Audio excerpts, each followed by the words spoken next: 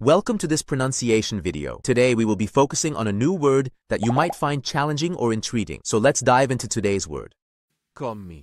Which means likely a misspelling or informal abbreviation for communist or committee. Let's say it all together.